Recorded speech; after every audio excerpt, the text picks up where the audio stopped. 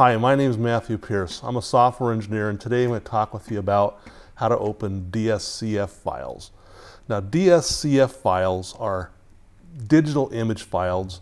Um, the DSCF part stands for, you know, there's some discussion about what it means. It could be digital storage compact flash or digital still camera Fuji. Um, but those files start off with DSCF and then they typically have four digits after that and they end in .jpg or .tiff. They're uh, typically JPEG or TIFF files.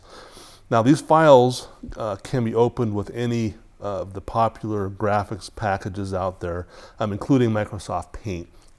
So I'm going to show you here, I've got an image that I got off the internet and you can open it in Microsoft Paint here. You can just drag it and drop it right on there and it'll open it up or you can go to the file open, find it. For me, it's on my desktop here, right there, and I can just double click on that, it'll open it up, and then you can edit it and view it, you know, do whatever you want with it. So today, we talked about how to open DSCF files. My name is Mathew Pierce. Thanks for watching.